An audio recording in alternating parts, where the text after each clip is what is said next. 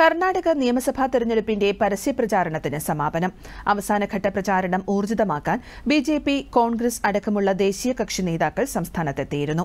B J P Congress A A P J D S പാർട്ടികളുടെ പ്രമുഖ നേതാക്കളുടെ road show വിവിധ മണ്ഡലങ്ങളിൽ നടന്നു.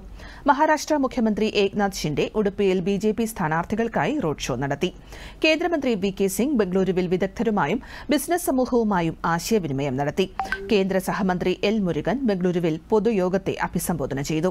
കോൺഗ്രസ് ജനറൽ സെക്രട്ടറി പ്രിയങ്ക ഗാന്ധി വിജയനഗറിലും കോൺഗ്രസ് അധ്യക്ഷൻ മല്ലികാർജുൻ ഖാർഗെ കലബുർഗിയിലും പൊതുയോഗങ്ങളെ അഭിസംബോധന ചെയ്തു.